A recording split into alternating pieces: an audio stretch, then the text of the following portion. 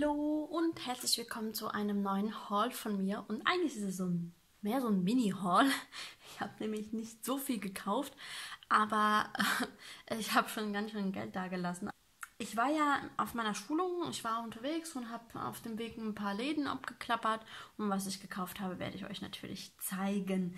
Ähm, ich werde auch noch mal sagen, wo ich die Sachen her habe. Also, ich habe mir drei Washi-Tapes gekauft und die sind von Arte Bene. Ich habe sie im, im Hugendubel gekauft. Das ist ja diese Buchhändlerkette. Ähm, ähnlich wie Thalia, nur Hugendubel, Hugendubel gibt es hier in der Nähe nicht. Jedenfalls nicht da, wo ich wohne. Und dort gab es das natürlich. Und ich habe mir drei Stück gekauft. Die waren nicht gerade billig. Also, ähm, hätte ich die Wahl, hätte ich die nicht gekauft, aber ich habe schon lange keinen Washi-Tape mehr so als Rolle gekauft, was mir auch richtig, richtig gut gefallen hat. Und ähm, diesmal war es soweit. Und dann dachte ich, wenn du eh schon unterwegs bist, kannst du dir auch mal etwas gönnen. Genau. Und deswegen habe ich mir jetzt diese Washi-Tapes gekauft. Einmal das mit den Herzen das ist jetzt mehr so rot. Das sieht jetzt ein bisschen rosa aus, aber es ist mehr rot. Genau, ich zeige euch das mal.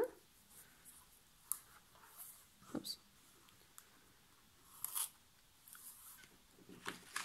Genau, so sieht das Ganze dann aus. Also es ist mehr so rosa-rot und hat ähm, goldene Herzen drauf. Finde ich sehr schön. Das zweite ist schwarz mit bronzenen Elementen drauf, also mit, einem bronzenen Muster. So, finde ich auch sehr schick.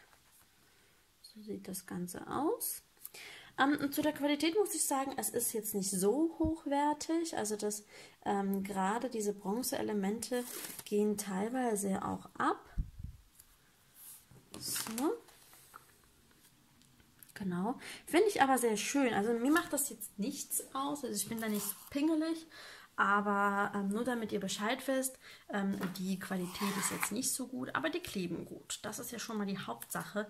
Bei Washi Tape weiß man ja teilweise nie, was man da kriegt und ob das Ganze auch hält.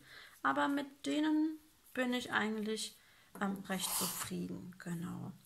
Okay, das war jetzt das zum Washi Washi können wir ja immer gebrauchen. Davon kann, kriegt man nicht genug.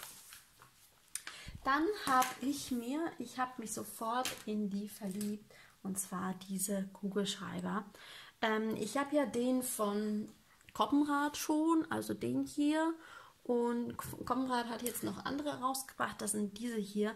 Und ich stehe ja total auf ähm, alles, was äh, Musiktasten, also diese Klaviertasten hat oder irgendwelche äh, Musiknoten hat, schwarz-weiß. Das ist eigentlich genau meins. Und ich habe die gesehen und die sind teuer, ja. Also die sind nicht gerade billig, aber ähm, ich habe sie gesehen und ähm, habe gesagt, die nehme ich sofort mit. Und ich habe sie jetzt auf der Schulung benutzt. Also ich habe jetzt ähm, einiges mit denen geschrieben und finde sie nach wie vor total schön.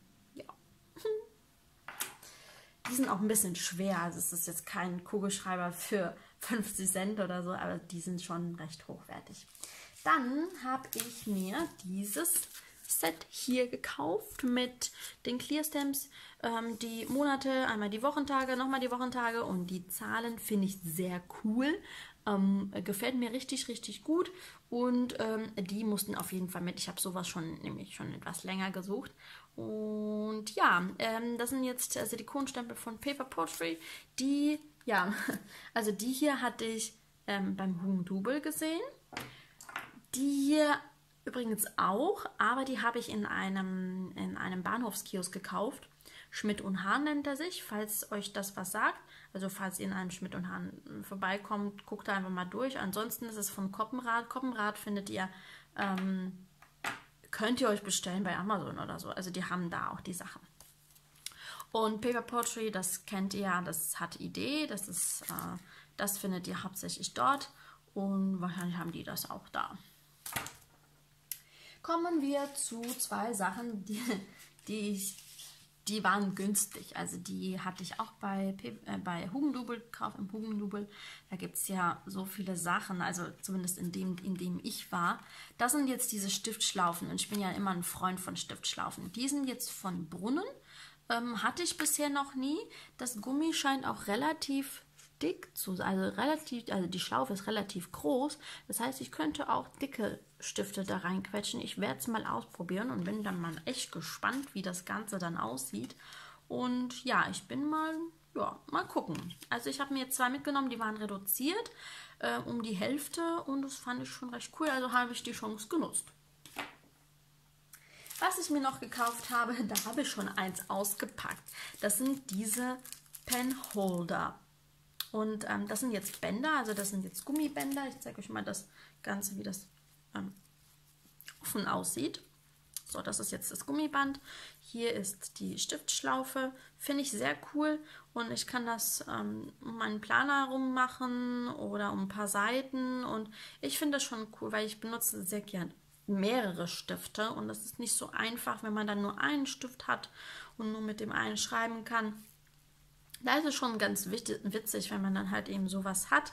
Ich weiß noch nicht, ob ich ähm, alle drei behalten soll oder ob ich eins mitgeben soll. Ich weiß es noch nicht. Ich bin noch am Überlegen.